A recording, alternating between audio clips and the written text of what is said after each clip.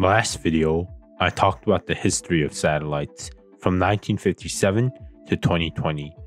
I explained how the number of functional satellites has skyrocketed to over 3,300 today. Yet, in this video, I would like to mention how the number of satellites may continue to increase at a pace never seen before. With the context of 3,300 satellites existing today, let's now put a future number onto that number.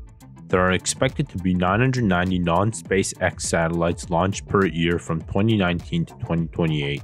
This is on top of SpaceX's plan to put a semi-complete constellation of 12,000 satellites up by 2025.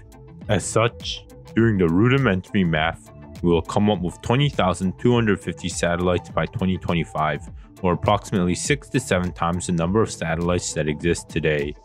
Even though they are refrigerator sized, they still have the potential to crash into other satellites or debris pieces and thus become orbital debris.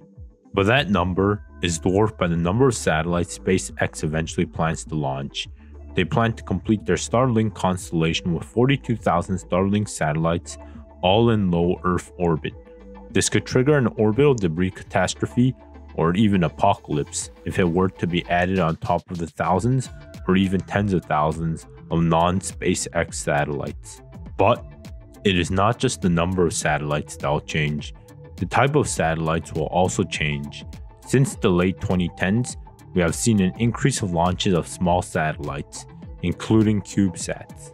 These small satellites have a mass of less than 1.4 kilograms and they are made of cubic segments that are 10 centimeters cubed in volume. Companies currently have plans to launch close to a thousand of them a year, but the market may grow in future years. Despite Earth's crowded orbit, however, I'd like to end today's video on a positive note. There are three satellites in particular I would like to talk about. The first is Europe's ClearSpace 1 mission, set to launch in 2025. It will be the second of three orbital debris cleanup missions currently planned. It will drag a large piece of debris and bring it out of orbit. The second is Astroscale's ADRAS-J mission, with its first phase set for launch in 2023. Slightly earlier than ClearSpace 1, it will use similar technology to deorbit a piece of orbital debris. Finally, the most exciting of all is Sky Perfect, another Japanese company that is testing a space laser to vaporize orbital debris, set to be tested in 2024 and become operational in 2026. It is the first satellite of its kind, and unlike the previous two cleanup satellites, it will be capable of zapping out smaller pieces of debris. If you have been watching my previous videos, you probably know that I run a petition on removing orbital debris.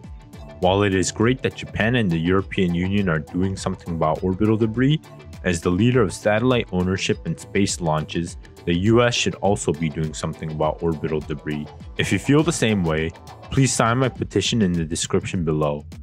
Thank you for watching, and I'll see you next week.